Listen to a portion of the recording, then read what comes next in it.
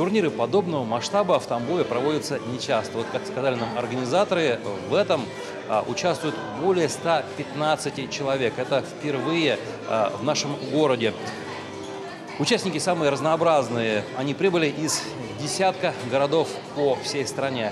Москва, Липецк, Пенза и другие. В общем, ребята приехали сюда для того, чтобы показать свой класс и научиться чему-то новому. Пришел на первую тренировку и попросту влюбился в бачату, хотя раньше никакими танцами не занимался в принципе. О такой любви с первого взгляда нам рассказал участник фестиваля и турнира из подмосковного Ретова Антон Михайлюк. Он занимается бачатой уже три с половиной года, и все это время его любовь только крепнет.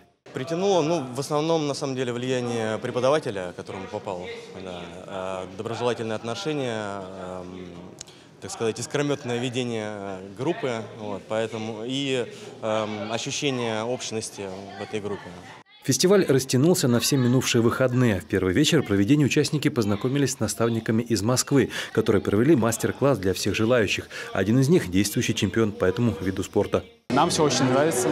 Да, ребята здесь очень дружелюбные, очень старательные, пытаются впитать знания. Это очень классно.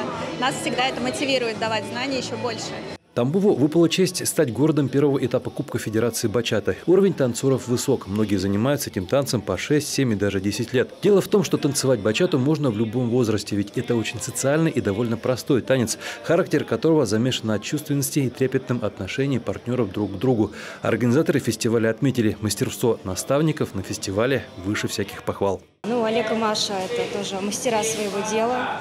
А, очень талантливые, как преподаватели, все всегда понятно, внятно объясняют. А, классные методисты, поэтому мы их поэтому пригласили. При всем при том, Олег, например, э, это чемпион России 2022 года.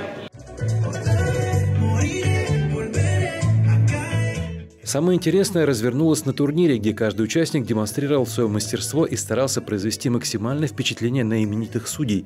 Думаю, это им удалось, ну а Тамбов постепенно становится небольшим, но важным центром популяризации этого красивого латиноамериканского танца и ждет новых гостей на фестивале. Они явно не за горами. Дмитрий Шапкин, Олег Осипов, Александр Кобзарев. Область новостей.